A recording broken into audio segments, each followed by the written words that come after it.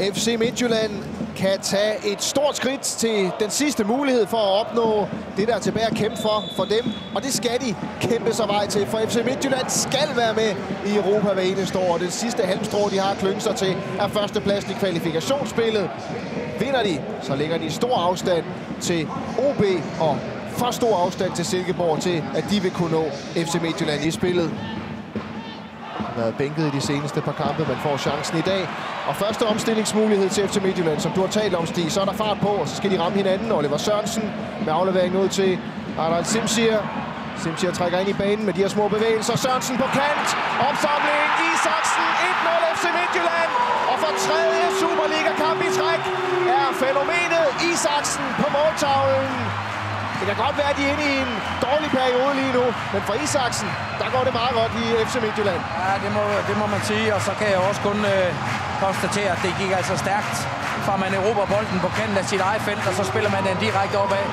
Synes måske, Christoffer Olsen var en lille smule for lang tid på bolden, men det lykkes alligevel, da han får spillet den lige frem til Oliver Sørensen, der kan vælge at spille både Isaksen, men når vi nu får den langskring indgivelse, så kan man se at Isaksen, som er helt fri herude, kunne måske have fået den, men det tror jeg er helt lige meget nu, når det nu ender med den her situation her, at Isaksen følger den her op, og så for tredje gang i træk, som du er inde på, score for FC Midtjylland. Men der går det stærkt, og det er det, jeg mener. Det er det, de er bedre til, end i hvert fald at holde på bolden og spille den i egne rækker. Og et dybt løb med angrebet ind i straffesparksfeltet for Sørensen, ligesom Thomas Berg gerne ville have det, og som han også betonede var nødvendigt, hvis de skulle score mål. Det har de gjort nu. Foran 1-0 ved Isaksen så mange taler om, inklusiv ham selv, at der ligger ligesom et stort udlandsskifte i, i horisonten for den her dygtige knæk, der nu har scoret 12 mål i sæsonen. Ja, det er heller ikke nemt at kaste den så langt med sådan en våd bold, som derfor også det korte her, tænker jeg. Linjo, mulighed for Saxe. Isaksen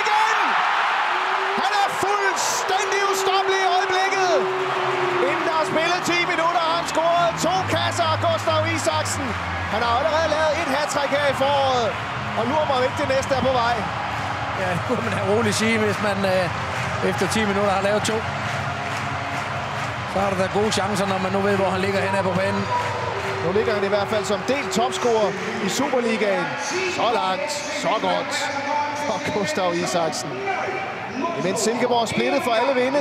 De kan slet ikke finde sig selv i kampen her. Nej, et helt kikset forsøg på et saksespark er vel nærmest det, der ligger op til målet.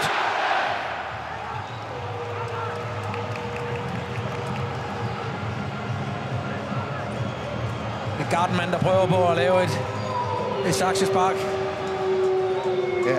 Og ved du hvad, Stig? Nu har FC Midtjylland jo brugt hele den her sæson for at finde et spejl, hvor de kunne genkende sig selv i som fodboldklub. Det her, det er bare klassisk FC Midtjylland. Død bold, og så en anden bold, og så er der en, der hakker den ind.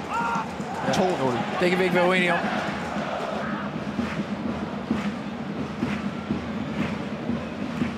Han overlader det til Olsson. Og mod Juninho, der vinder sin duel. Dalsgaard 3-0! FC Midtjylland ligner sit gode, dødboldscoring den her gang efter Thomas Thomasberg og Companies ABC Dalsgaard 3-0. Ja, det er, kan vi vel ikke andet sige, det er en indstuderet detalje, den her. Isaksen, der stille og roligt hopper hen over bolden, og Olsen, som ligger den perfekt ned i en duel. Alexander Bus mod Juninho. Og så bliver den altså hættet på tværs. Nu er det lige Salkvist, man havde i billedet. Synes nu, det var Bus. Det er det også. Det er Bus, han er i duel med her. Som måske appellerer lige smule for et frispark med Dalsgaard. Eller undskyld, Salkvist, der selvfølgelig i situationen der skal markere en Dalsgaard. Kommer alt, alt, alt for sent, og det er... Der går nok lidt af en mareridt start for Silkeborg. Det er Henrik Dalsgaards første Superliga-mål i mere end et år, siden han scorede mod Randers på udebane.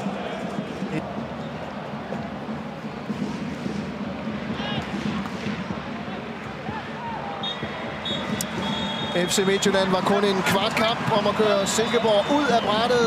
Isaksen og company gjorde kort proces og har lagt sig suverænt i spidsen af kvalifikationsspillet.